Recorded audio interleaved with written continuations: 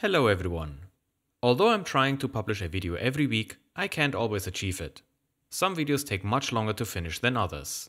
This is usually because I'm starting to work on a new platform and need to get familiar with it, wait for some items to arrive, or sometimes it's just a lot of work. It really depends on the type of the video. Today I just want to clean and restore a Socket 7 cooler which I want to use in upcoming content. I'll briefly test it on a Socket 370 to slot 1 adapter card and see if this cooler is strong enough for a Pentium 3 Coppermine CPU at 100 GHz. If you like to see order restored from chaos, be my guest and watch the entire video, but I will not be talking during the rest of it. I hope that I'll be publishing a regular video soon, which is delayed because of Chinese New Year. So, Happy New Year and enjoy the rest of the video.